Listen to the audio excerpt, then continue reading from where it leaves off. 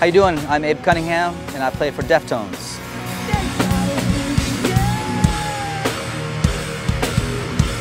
I started drumming around seven, maybe nine. I grew up in a musical family. My uh, father played bass, and my, step my stepdad played drums, and just infatuated by what can be done when people get together and play music, you know? So uh, we, we started this band in 1988. I was 15.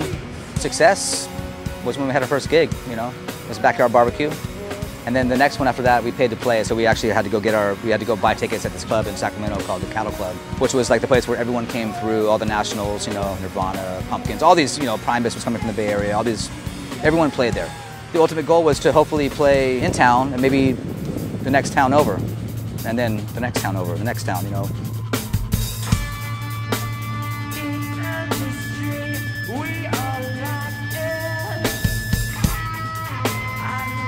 My dad, as I said, played drums too, so I, I, I didn't know anything else but Zildjian, and um, still don't.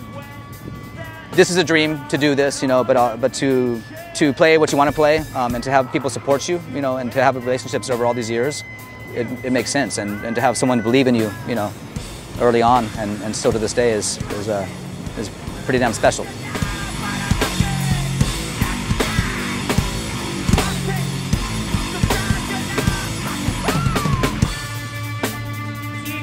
I mean, I, I uh, always played A's. Uh, for a while, there was a Platinum Series. I had a couple of those, you know, China Boy High. But now it's a, it's a nice mix of uh, all the best that Zildjian has to offer. It starts, uh, uh, hi-hats are a 15-inch A-Custom Master Sound, 8-inch K-Splash, 19-inch Heavy Crash, and then a 21-inch K-Ride, 10-inch A-Splash, 22-inch A-Custom Ping, another 21-inch K Crash Ride, 9.5-inch Zilbel, and a 19-inch K China you play what you like and you play what makes you happy. You play what, uh, what sounds good and makes you feel good, you know. So I have a nice little uh, concoction going there. Various spices. I always had a, a, a 22 A custom ride, which was very was was washy. I recently switched to the ping, just for a bit more ping. But I just it's just a, what a beast of a cymbal. It's very versatile. I mean, you can do anything you want.